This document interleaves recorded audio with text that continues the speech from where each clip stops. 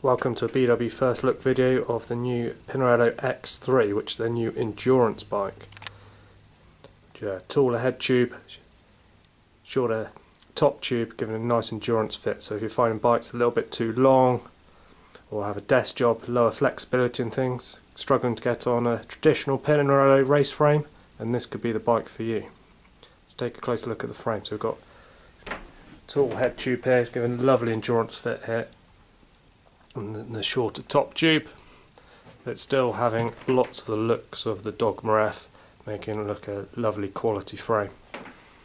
Cables are all tucked away in Pinarello's TICR system so this cable's going through the stem.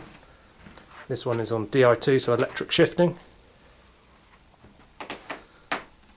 In the 105 models the battery is located in the seat post and the shifters are connected wirelessly to the rear mech which are cabled to the battery and to the front mech. Gearing on here is suitable for climbs and endurance long day riding. We've got a 5034 chainring on the front and 1134 cassette on the back. And this iteration of Di2 it's charged by the rear mech with a little clipper here and it's controlled by a button just under here which can connect to your phone and you can change lots of things within that app. It's a very stylish frame. The seat clamp is just hidden away just in the top tube here so very sleek. Look, aero seat post, then lots of comfort built in with these seat stays which give in lots of flex.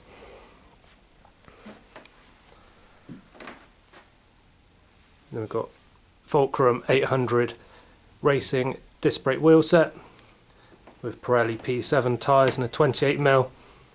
Bike could take easily take a 30mm tyre.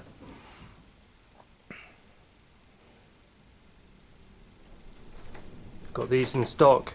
Any fitting queries, please look our online bike fit or please email us. Cheers.